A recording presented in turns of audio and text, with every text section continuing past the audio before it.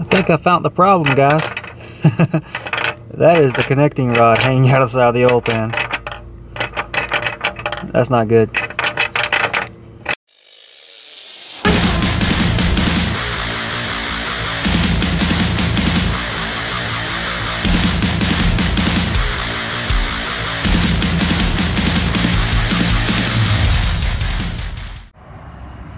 What's up guys? I want to give you a quick update on the uh, 350Zs. I've got both cars blown apart right now. There's parts everywhere, all over the yard. It's chaos, but it's coming along pretty good. Check it out. This is the uh, the old motor, the one that's seized up, the one that's got the uh, connecting rod hanging out of the side of the block right there. Yeah, that's definitely a problem. And this is uh, the shell we're going to be using. Uh, got everything cleaned up, scrubbed like the well not scrubbed, but it's basically pressure washed the wheel arches, the the suspension, everything. It's pretty nasty. I think I have like a small clip of the engine bay before. I might throw that in here. It's pretty dirty, so I'm not gonna put an engine back in there like that, of course take the pressure washer to it real quick clean it up make it look good. Uh, but it come out pretty good. Everything's cleaned up cleaned up really really well. So really pumped on that. This is our good engine. It uh, says it's like 70 something thousand and I believe it. Like this thing is uh it's pretty clean. So it's definitely taken well taken care of so I'm thankful for that. And as far as the uh, interior of the white car, I've actually done a lot of cleaning up.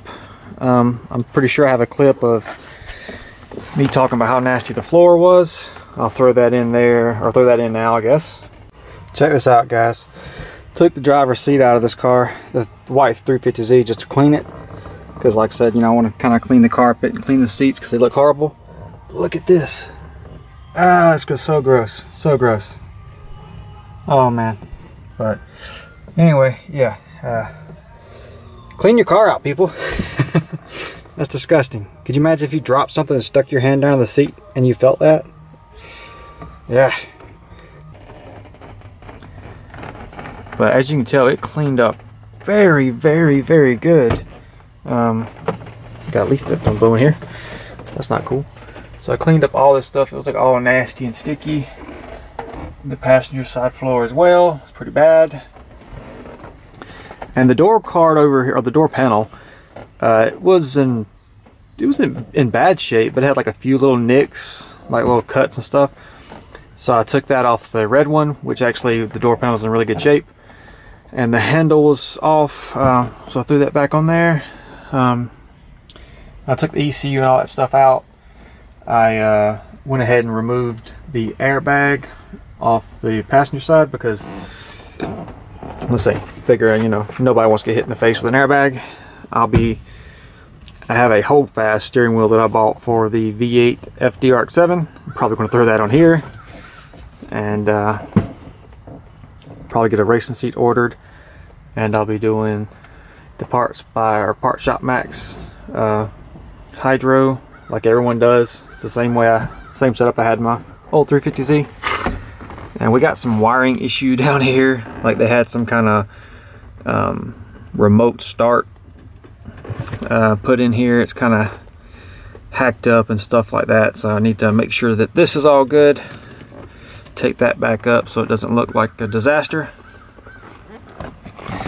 And went ahead and put the uh, the driver's side door back together, which I think I have to take it back apart because like when you shut it, it doesn't sound very good like something's loose in there. I'm not sure. Uh, got the exhaust that was on here off. It was like a HKS like uh, exhaust can and some weird bent pipe. But I ordered a cheap eBay Y and I think they call them like test pipes and headers which the test pipes and headers haven't come in yet which will be, you know, what I'm waiting on right now. So I definitely want to go ahead and put the headers on the engine before I put it in the car because I think I've heard that it's kind of a headache to put headers on them once the engine's in the car. So that's pretty much where we're at. Um, been working on them pretty hard, like I said, just getting everything cleaned up and ready to go. So it will come together pretty quick once I get the headers, which I think they're supposed to be in Monday. So today is Saturday.